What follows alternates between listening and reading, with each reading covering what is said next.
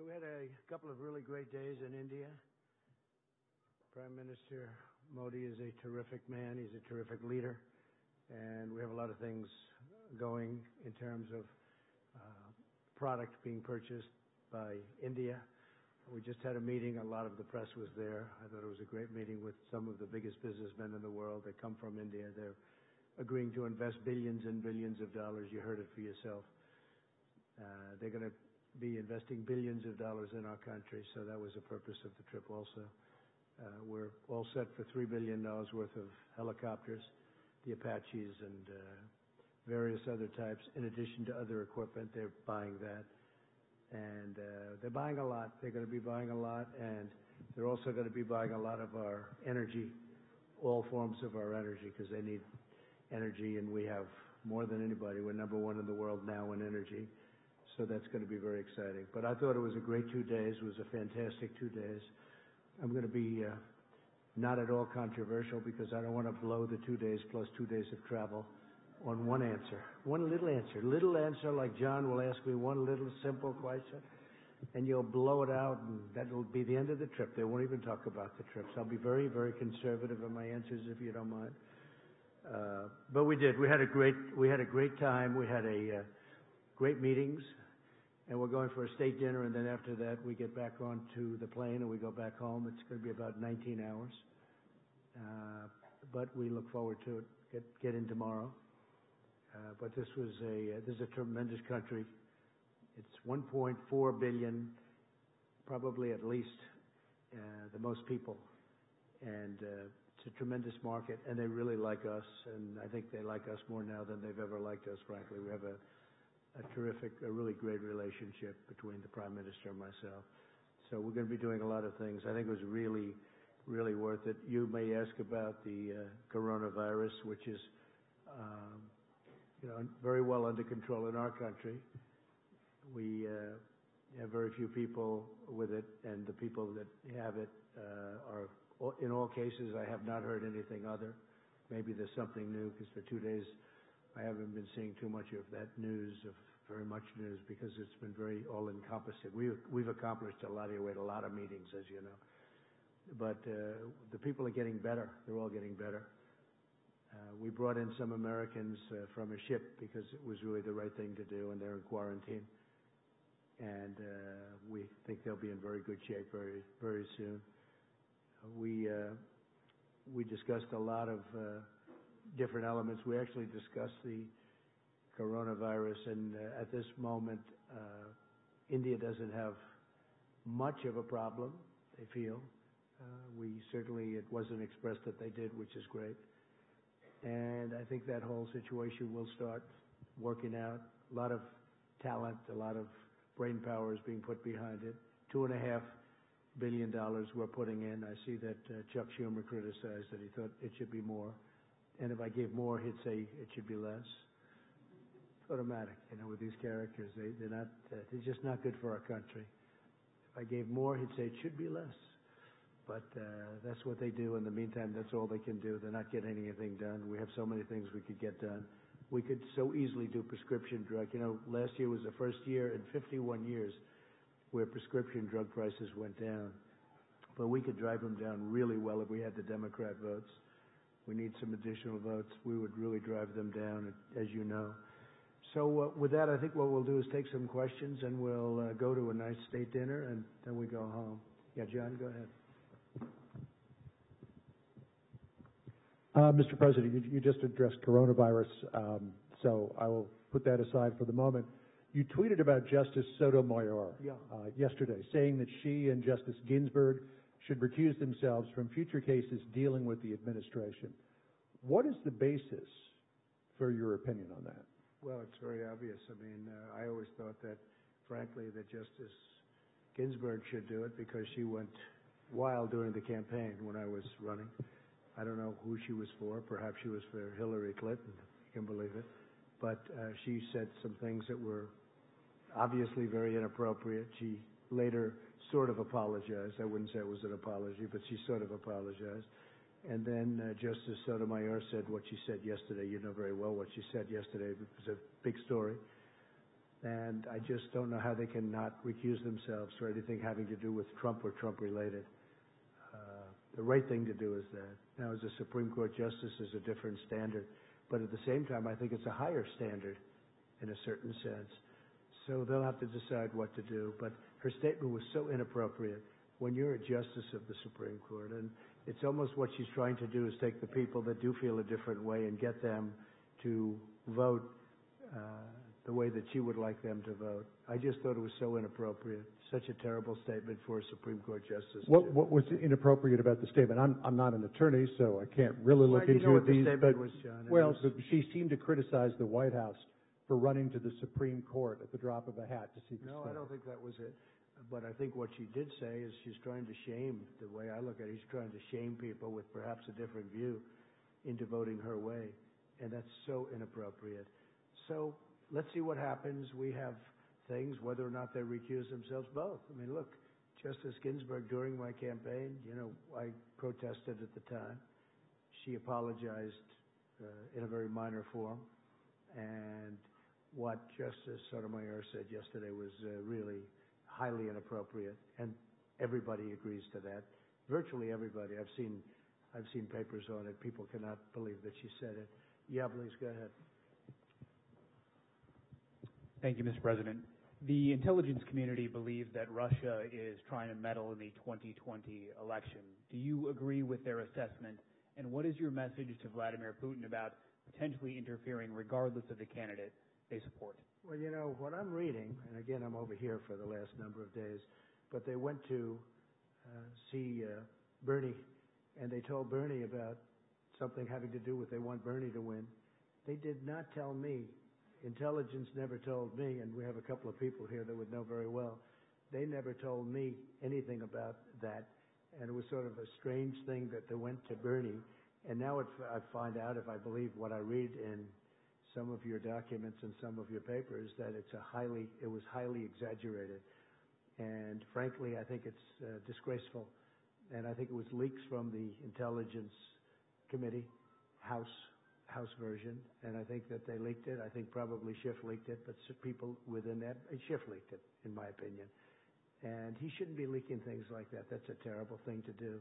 But basically, they would like to see Bernie is uh, probably winning and looks like he's winning and he's got a head of steam and they maybe don't want him for obvious reasons. So they don't want him, so they put out a thing that Russia's backing him. This is what they do. Uh, I've gone through it for a long time. I get it. I get the game better than anybody. And uh, that's the way it is. Terrible thing to say. And they didn't say it about me. I will say this. Somebody leaked it in intelligence, but nobody ever told me that. We have Ambassador O'Brien in the audience someplace, and he can tell you that uh, this was never discussed with us. So I think it's terrible. They ought to stop the leaking from Intelligence Committee. And if they don't stop it, I, I can't imagine that uh, people are not going to go after them and find out what's happening. Yeah, please. But do you believe Go ahead, ma'am. Mr. President, this is Madhu Bhatia Jha from Indian TV News, ABP Yes. News. And uh, you're trying to get... a मैं TV agency India से हूँ और in Afghanistan. So the way the deal is being worked out, what would be India's role and Pakistan's role in the region? Well, I think India would like to see it happen. I spoke with Prime Minister Modi today, and I think they would very much like to see, him ha- see it happen. And we're uh, pretty close. We'll see what's going on. We've got two days now under our belt without violence, or I guess a minimum of violence. And uh, we'll see what happens. But people want to see it. It's very interesting that one. It's, everybody's happy about it, even people that are normally against me, like 99.9% of the time because we've been there for 19 years, and uh, everybody would like to see it happen. I was actually surprised. I thought the Schumers of the world would say whatever the opposite is, you know, because that's all they can do, cry and chuck. But um, people are really, they're really happy to see that we're trying very hard. You know, we'd bring it down to 86, 8,600, and from there we'll make a decision as to what the final outcome would be.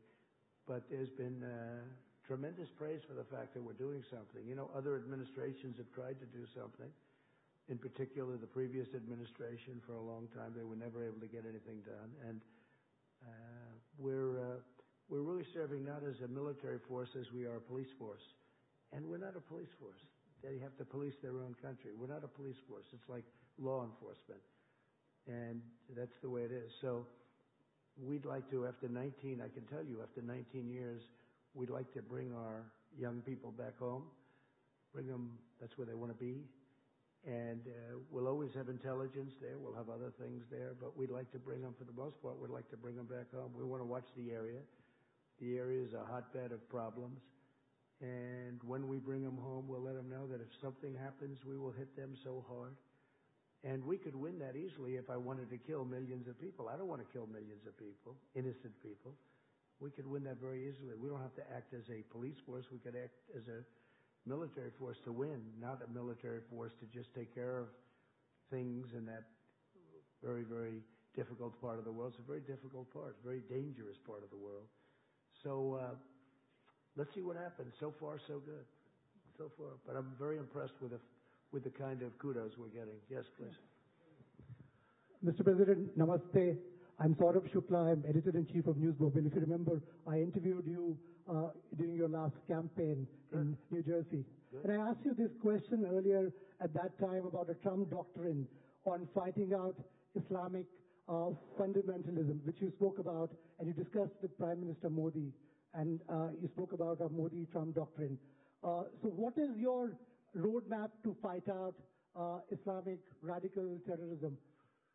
Well, I don't think anybody's done more than I have. If you look, because I came in, and if you check your maps and look at Iraq and Syria, it was all over. In fact, they had it painted a certain color. I won't tell you what color because it doesn't matter. Somebody will say it was a Republican color, so I don't want to get people confused. But it was, it happened to be red, and it was basically trying to show what, where ISIS was in those areas. And it was out of control.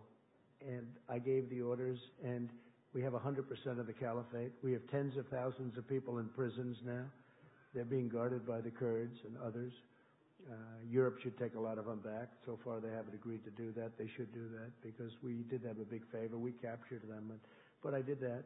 Uh, we killed al-Baghdadi a few months ago, and uh, Soleimani was is gone. He's no longer putting roadside bombs all over the place. Somebody else may be, but he was the father, the king of the roadside bomb. All of those young people that you see with missing legs and missing legs and arms. I've seen every combination. The legs are gone. You go over to Walter Reed. I have to say the doctors at Walter Reed are incredible what they're able to do. Incredible. But uh, that's what his thing was. He he thought that was a a beautiful weapon, roadside bombs. It's a coward's bomb. And all of these young people that have been so badly hurt. And uh, we did a big favor. In addition to that, as you know, uh, Hamza bin Laden is now gone. And he was looking to do damage, and he's gone. And Al Qaeda last week, you saw what happened there. Absolutely. So nobody's done more than what I've done. And uh, but I, at the same time, Russia should do it, Iran should do it, Iraq should do it, uh, Syria should do it. You know, we're in a different part of the world. We're doing it. Everybody says you're the only ones that can do it. Well, at some point, these other countries. uh, I mean, Iran should do it. Iran hates ISIS, and they should do it. And we've done a great job. We've taken our soldiers essentially out of Syria, except for little hot spots that we figured, you know, will do, that develop. But uh, we've taken the oil, and the soldiers we have there are the ones guarding the oil. We have the oil. So that's all we have there. And now we have, you, if you look, we are down to a small force in Iraq. And we're down to a small force very shortly, but right now even we have a small force in Afghanistan. And so we're moving out and moving around. But the only soldiers we have in terms of Syria, the predominant number of soldiers are the ones guarding the oil. What about terror groups in Pakistan, sir? That's a big concern in this region, and you know there are a lot of terror groups who Yeah. pose dangers to the United States and democracies like India as Yeah, well. sir. no, I agree. But you also have other countries that can do this. You know, the United States is 8,000 miles away. And they're all saying, could you do it? Yeah, we could do it. We've been doing it for a long time. But I've been doing it much better than anyone else has done it. I mean, what we've done in the last couple of years has been incredible. We have 100% of the caliphate. Remember, we had 99%. I'd say, good, we're leaving. And I was hit with, uh, people couldn't believe it. They said, do 100. So we did 100. I did 100 with some great generals that knew exactly what they were doing. They were unbelievable. We took 100% of the caliphate. And we have thousands of prisoners right now locked up. And uh, these are ISIS fighters and killed thousands. Not that I want to do that. I don't want to do that. But that's what we had to do. And when I came in, ISIS was all over the place. It was totally out of control. Please. Thank you. While you, while you've been uh, here in the country, in the capital northeast part of Delhi, there have been uh, violent clashes. Police have been killed, uh, some Yeah. demonstrators. Uh, nine deaths so far, we hear, and about 100 plus injured. Um, what did uh, Prime Minister Modi say to you about this amended citizenship law? And um, how concerned are you about this kind of religious violence So we did talk about religious freedom, and I will say that the prime minister was incredible on what he told me. He wants people to have religious freedom, and very strongly. And he said that in India, India they have uh, they have worked very hard to have great and open religious freedom. And if you look back and look at what's going on relative to other places, especially, but they have really worked hard on religious freedom. I, I asked that question in front of a very large group of people today. And he talked about it. We talked about it for a long time. And uh, I really believe that's what he wants. As far as the individual attack, I heard about it, but I didn't discuss that with him. That's uh, up to India. Yeah, go ahead, please. Hi, sir. Emily Goodin with the DailyMail.com. I was wondering, do you think justice was served in the Harvey Weinstein case? So I was never a fan of Harvey Weinstein, as you know. In fact, he said he was going to work hard to defeat me in the election. How did that work out, by the way? I'm trying to figure that out. Uh, he uh, he was a person I didn't like, never liked. Uh, I don't know too much about the case because you know between traveling and and being at meetings almost every hour of the day, every minute of the day, I haven't been able to really see too much of it. But I was just not a fan of his. I, I knew him a little bit, not very well. I knew him because he was in New York. Uh, not not a person that I like. I will say the the people that liked him were the Democrats. Uh, Michelle Obama loved him, loved him. Hillary Clinton loved him, and he uh, gave tremendous money to the Democrats. And I guess my question is, will the Democrats be asking for that money back? Because he gave a lot of money to the Democrats, and uh, you know it's too bad, but that's the way it worked. Yeah, Peter. I just want to follow up on that very quickly, if I can, Mr. President. Then I have a question that I wanted to ask you. But just on the Harvey Weinstein situation, this is being viewed as a milestone for the Me Too movement.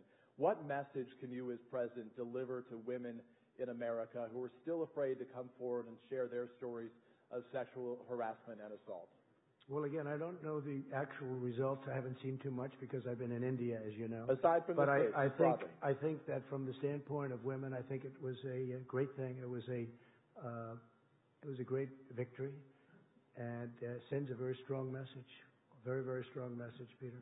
Yeah, Uh, please. Can I follow up with my question? I just wanted to follow up on hers quickly. Can I, uh, on, on coronavirus specifically, Mr. President, in 2014, when the Ebola situation was very uh, concerning to so many Americans, you tweeted, Ebola patient will be brought to the U.S. in a few days. Now I know for sure that our leaders are incompetent.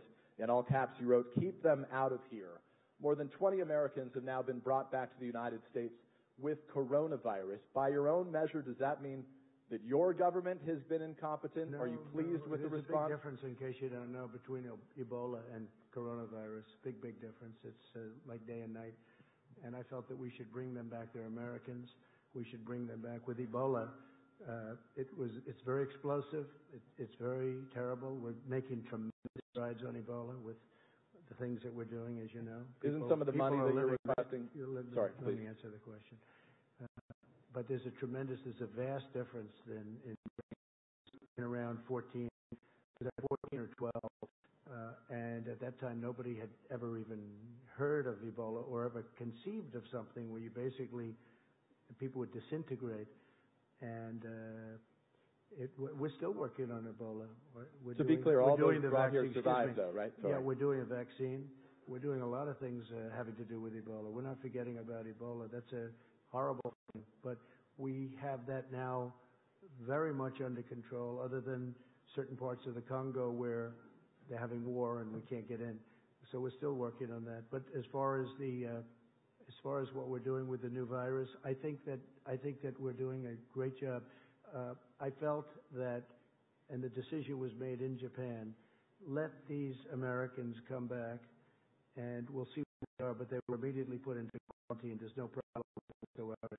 Quarantine. And as you know, we approved. I approved two and a half billion dollars for just that purpose, and also for working and getting a vaccine. For clarity, those with Ebola, when they were brought here, were quarantined, and all the Americans also survived, I know, right? But the, the level of death with Ebola, you know, at the time it was a virtual 100%. But none of the Uh, Americans who came here. You don't, you, there's a very good chance you're not going to die. It's just the, it's very much the opposite. You're talking about 1 or 2%, whereas in the other case, it was a virtual 100%. Now they have it. They have studied it. They know very much. In fact, we're very close to a vaccine. Uh, yeah, please, go ahead. Go ahead, Peter.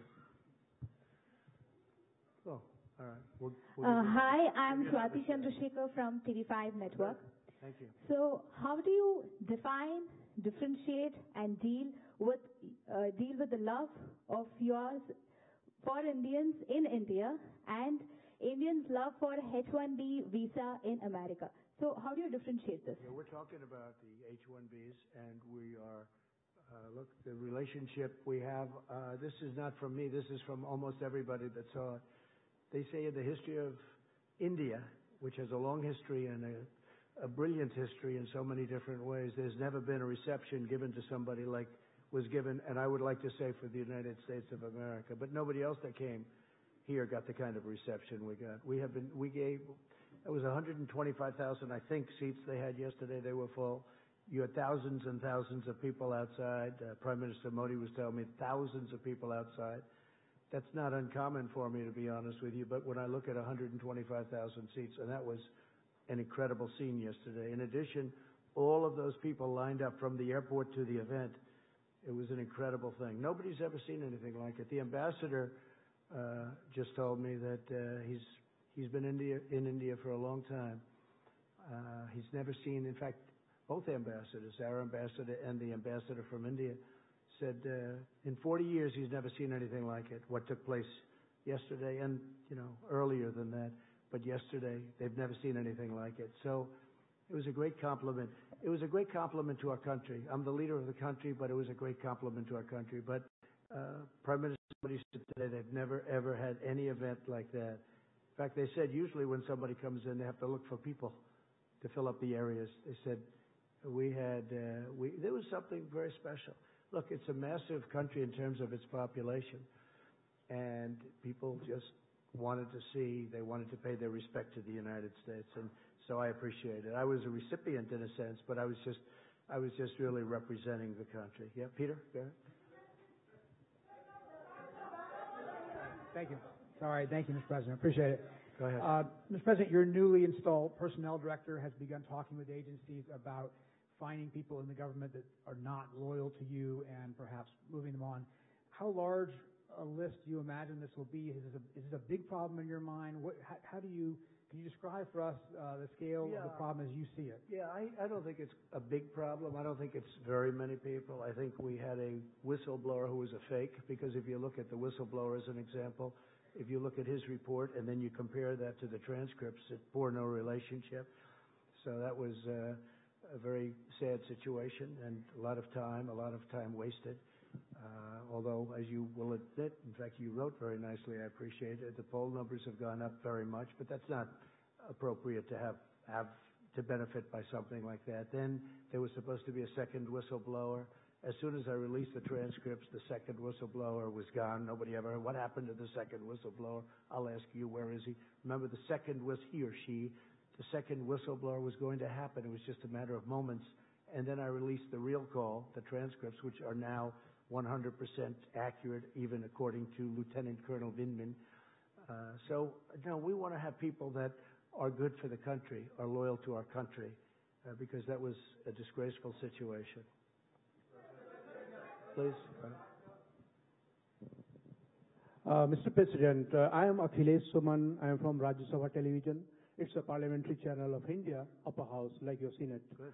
Uh, you know, India's concern is with neighborhood, and you and Prime Minister Modi tell that you are very good friends.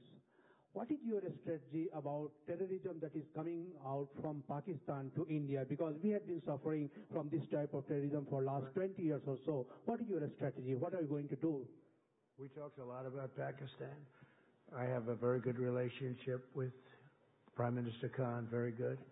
Uh, we talked about it today at length, actually, and Prime Minister Modi. And it's no question it's a problem, but it's a problem they have. They're working on it. it. India is, you know, it's a brave nation too. There's no pullback from India. And we just hope, and I said, I'll help, I'll do whatever I have to do if I can do that, because my relationship with both gentlemen is so good. Uh, but there has been difficulty in Pakistan, and we're seeing what we can do about it. Anything I can do to mediate, anything I can do to help, I would do. They're working on Kashmir. Kashmir has been a thorn in a lot of people's sides for a long time. And there are two sides to every story, but they've been working on that very hard. We discussed it at great length, terrorism. And uh, I think we have some very good ideas. He's very, very strongly against terrorism. I'll tell you, Prime Minister Modi is a very, uh, he's a very uh, religious man, as you know. He's a very calm man but he's actually a very, very strong person, very tough, actually. When I've seen him in action, and uh, he's got that foremost in his mind, terrorism. He'll take care of it. Please. Go ahead. You, you, right. That's fine. Right there. Okay. Mr. President, thank you. The backbenchers have been waiting for far too long. I'm Richa from Business Line, and we would like to take you to your today's meetings. Before coming to India, you said trade deal will be later, but of course sometime soon. In the morning, you spoke about energy security and energy deal, and we, you are already the fifth supplier to our country. You said other sources also. We would like you to elaborate on that. When we are talking energy security and energy deal, what are we looking at? Yeah. And is nuclear happening? So we talked about many things, many, many things. We talked about Iran. We talked about Iraq. We talked about, we, you know, we were together for two days. I'm going to be with Prime Minister Modi tonight for a state dinner at 7 o'clock. It starts at 7, I believe. And uh, we talked about exactly all of the things that you're talking about. We also talked about tariffs because, as you know, India is probably the highest tariff nation in the world, meaning charging tariffs to outsiders. And I said, we have to stop that. We have to stop it, at least as it pertains to the United States. And uh, I think we're understanding each other. With China, we worked a deal, and we worked it because of the tariffs, and I was able to leave the tariffs on. That will take care of phase two. We still have 25% on $250 billion. But in the meantime, we're working with China very much on the virus. We feel that's something. And I, have to tell, I spoke to President Xi the other day. He is so committed to solving that problem. He is, he is working very hard. He is very capable. The country is very capable. And uh, it snuck up on him, but I think he's going to do well. Now you see it's going to South Korea, it's going to Italy, and it's going to other places. Uh, I spoke to all of them. They're all working very, very hard on it. The United States because of an early decision I made. I made a decision. I believe it was the first time it's ever been done. We closed the country to certain areas, as you know. And I was criticized for that decision. Now they're saying it was a good decision. I think it was a good decision because we have very few people. And you can add to it a few people that we took in because they were Americans. I mean, what are we going to do? And they were almost in between countries where people weren't going to take them and they're Americans. Uh, but uh, they're fully quarantined. They call it fully quarantined. So, you know, we did the right thing. Uh, if you were out there, if you were an American and you refused to have any help from your country, these were wonderful people. It wasn't their fault. So, uh, but we're down to, we're really down to probably 10. Most of the people are outside of danger right now. But we've had a very strict, we've had a very strict line on the people that would take in the areas from which we take. And I did it very early. It's never done before, and I did it early. So I think it was a good decision as it turned out. Yeah, please.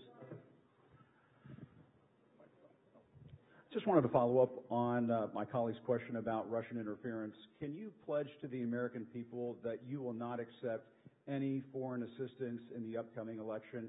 And on this idea of a purge in your administration, uh, there was recently the departure of your acting DNI, Joseph Maguire. You replaced him with your ambassador to Germany, Rick Grenell. Uh, some of your critics have uh, pointed out that Ambassador Grenell has no intelligence experience how can you justify to the American people having an acting DNI with no intelligence? Okay, first of all, I want no help from any country, and I haven't been given help from any country. And if you see what CNN, your wonderful network, said, uh, I guess they apologized in a way for. Didn't they apologize for the fact that they said certain things that weren't true? Tell me, what was their apology yesterday? What did they say? Mr. President, I think our record on delivering the truth is a lot better than yours sometimes. Your you don't mind me saying. Let me tell you about your record. Your record is so bad you ought to be ashamed of yourself. You have probably I'm the not worst ashamed record. of anything, and our you probably have the worst record in the sir. history of broadcasting. As far as uh, uh, Maguire is concerned, he's a terrific guy. But you know, on March 11th, his time ended anyway, so his time came up. So we would have had to by statute, we would have had to change him anyway. So the Will your new. DNI have experience I in the intelligence yes, field? yes. In fact, we're talking to five different people right now. I think all people that you know, all people that you respect, and I'll make a decision probably over the next week to two weeks. We have some very good people. But uh, Joe Maguire is a very excellent guy. He's a very good man. And his time was March 11th. I believe it was March 11th where he would have had to leave. Was he But forced out going- because he wasn't sufficiently loyal to you? no, not at all. Not at all. He was pushed out because, frankly, wasn't pushed out. He would have had to get out. On March 11th, he would have had to leave. But we're going to be making a decision on DNI very shortly. Thank you, sir. Yeah, please. Go ahead, please. Yeah. Uh, Mr. President. uh, Well, I- that's not nice. uh, Yeah, uh, let, let her go- do it. let's go one I, I by know, one. but you, you ripped the mic out of her hand. You can't do that. So rude. Well, that wasn't very nice. He's President Trump, uh, I hope you're having a good visit here in India. I'm Ruchi Bhatia from ET Now. Uh, we have heard from Prime Minister Modi as well as you on a long impending trade deal. It's still not happened. Uh, even today we heard uh, both you and him talking about how in future there is going to be one. Have you been able to uh, uh, figure out the kind of differences that were there earlier, we know especially on data localization? That has been one of the sticky points. sure. We know the problems. I know the problems. Previous administrations had no clue. They didn't know the problems. I know the problems. We're being charged large amounts of tariffs, and uh, can't do that. Can't do that. And so they understand that uh, that's where I am, and if they want to deal with us, and and they will, they're going to. Just like China, everybody said you'll never make a deal with China. I made a deal with China. It's a great deal. They're going to buy 250 billion dollars worth of product and that's only a piece of the deal. It's a large piece. It's probably 40 to 50 percent, but it's a it's an incredible deal. In addition to that, we're taking in billions and billions of dollars worth of tariffs that we can now use for phase two because they want to get rid of the 25 percent. So we have the 25 percent. They want to get rid of it. Well, with India, India is, I think, the highest. Again, I said it before, but the highest tariff when you deal with India. Uh, Harley Davidson has to pay tremendous tariffs when they send motorcycles in here. When India sends motorcycles into the U.S., there's virtually no tariff.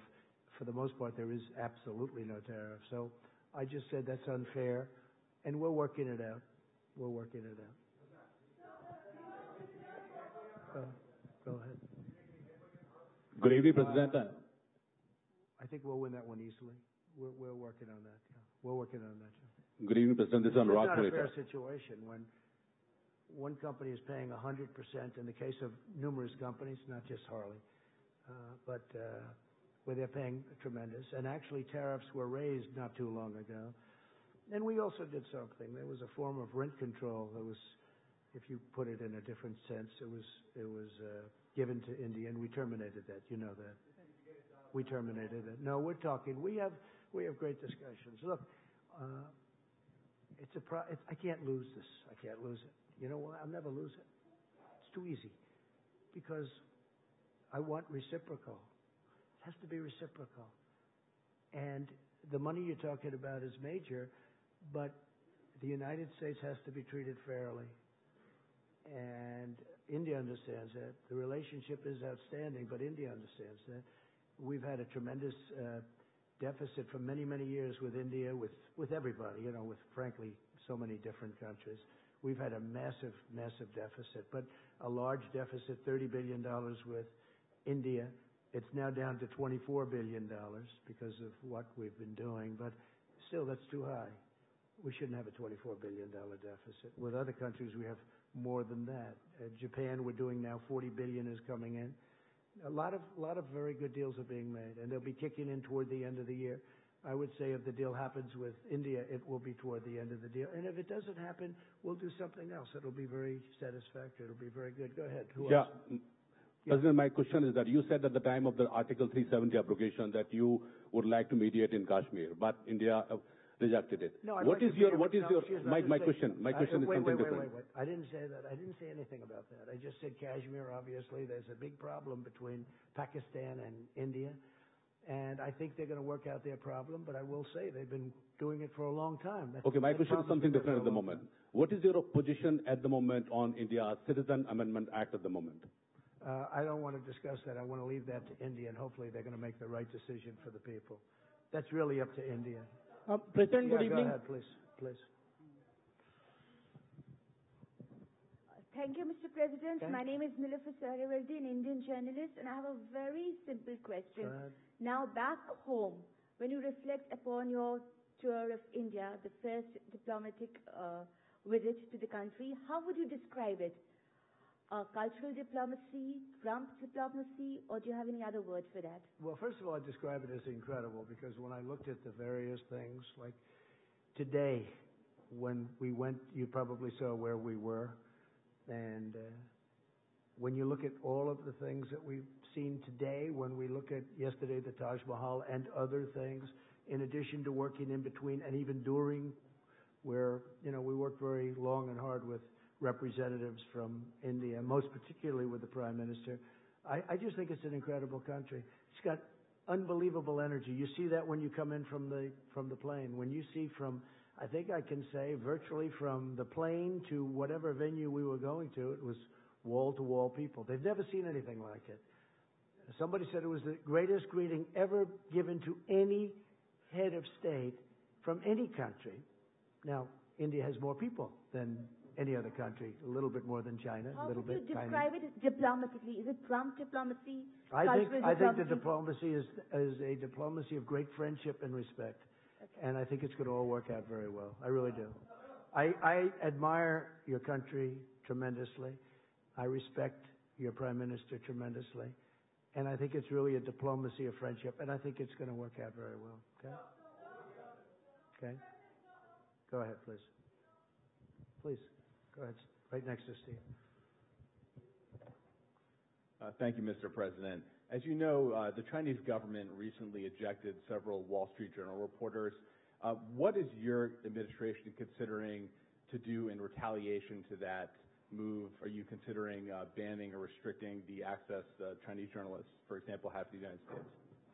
So I haven't really uh, been given a full briefing on that. We're going to look at it. We will look at it. It's something that I don't like to see. I don't think it's fair because uh, we give very good access. Maybe some people would say we give too good. I don't think, I don't believe in that. I think we give very good access, so I don't think it's fair. But we'll have a decision made on that relatively soon. Okay? Thank you. Good question. Please, go ahead. Go ahead. Go ahead.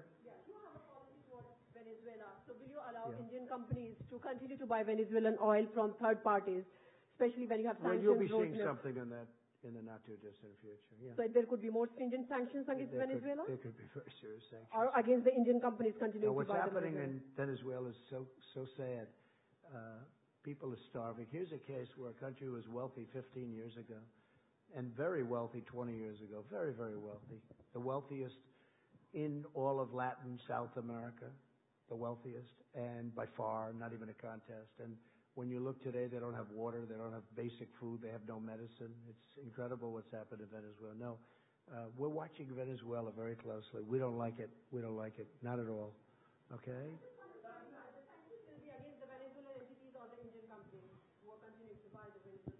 You're going to see in a little while. You, you, you're asking a question right in the middle of us doing something. Go ahead, please.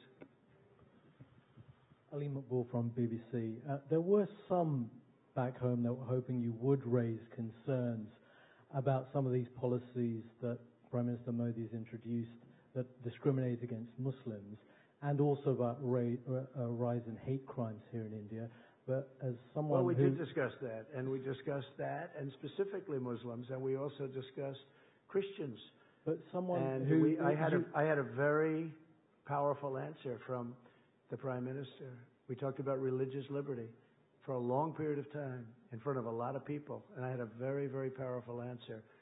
And as far as Muslims are concerned, as he told me, I guess they have 200, Mus- 200 million Muslims in India, and a fairly short while ago they had 14 million. And he said that uh, they're ver- working very closely with But- the but Muslim you- community. But sir, you yourself have been criticized for policies that have discriminated against Muslims, like the travel ban. There's also been a rise in hate Well, crimes over the last couple of years in the US. yeah, so are you in a position to talk to him about those subjects? Yeah, I won the travel ban, as you probably know. A lot of people said I lost it. No, I won the travel ban, and we use the travel ban where we think there's, not based on religion, but where we think there's going to be trouble, where we're looking at certain countries. As you know, we added a few countries onto it. But we won the travel ban, and we won it in the Supreme Court. So the travel ban is uh, not a thing against Muslims. It's a thing against areas where we don't want people coming into our country that are going to cause problems, cause harm, cause death, hurt our people. And I feel very strongly about that. Okay, please go ahead. Thank you very much, Mr. Thank you. President. I'm Thank you very Chan. much. Thank you. I'm Jimmy Chan with Shanghai Media Group. Um, and I'd like to know, some people say that India could be to the U.S. in Asia during the 21st century what the U.K. was in Europe during the 20th century. How do you view it? Well, I think that India is going to be a tremendous player over the next, you know, it's now, right? But over the next period of 50 years or 100 years, look, you're talking about the largest population in the world. You're talking about a tremendous country in terms of its heritage, its its uh, potential wealth. Frankly, right now, uh, they have they have incredible potential economically. They have great potential. Uh, Their schooling system is getting better all the time. They're doing a fantastic job with, in certain sectors with respect to education. We see it in the United States. We see it. We have a lot of Indian students coming to our schools. They're great students, and they've done fantastically well at our schools. But we have, you know, thousands and thousands of people coming from India coming to our colleges in particular schools, but our colleges in particular. No, India's got a phenomenal future. I mean, you, you can rarely think of a place that has a better future than India, and highly respected, especially with leadership like Prime Minister, right? Modi. Yeah. Go ahead. Pick one. Go ahead. Uh, Sir, Ritu Parna from CNBC TV 18 India. Uh, American companies have been investing in India for a long, long time. Are you satisfied with the Indian investment regime, especially on issues like multi-brand retail and e-commerce, on which companies from U.S. have a lot of interest in? So I'm very satisfied because uh, they're investing tremendous amounts of money. I met Mr. Mittal a little while ago. He's the largest steel person in the world by far. I don't think there's even a contest. And he's going to be building a billion dollar plant in Alabama. We had uh, the press, I left him in there. Always a risky thing to do. But if you, uh, if you see the, let's say we have, you know, answered 15 questions, uh, they were talking about how much better it is to work in the United States now in terms of their investment. They have done a fantastic job. These are some of the biggest entrepreneurs in the world. I'm not even sure if the media really understood who they were. I knew many of them, certainly heard of all of them. The job they've done is incredible. But Mr. Mittal, uh, who's the biggest steel, I think biggest steel company, certainly the biggest steel individual, but I think he's the biggest steel company by a lot. He's investing billions of dollars in the United States, and he's only doing it because of what I've done to bring back the steel industry. The steel industry was dead, absolutely dead in the United States, and now it's a vibrant industry. It's incredible. And we need it, again, we need it for defense. It's not just like certain industries that you don't need. We need it for defense. but he was glowing, and one of the reasons he's spending a billion dollars in Alabama and more money in other places in the United States is because we brought it back. So we're very proud of that. So I think what we'll do is we're going to see some of you on the plane on the way back. It's been an honor to be here. It's an incredible place with incredible leadership and an unbelievable future. And uh, I just want to thank you all, and I'll see you back in the States. And I think some of you are on the plane, and we can talk a little bit on the plane too. Thank you very much, everybody. Thank you very much.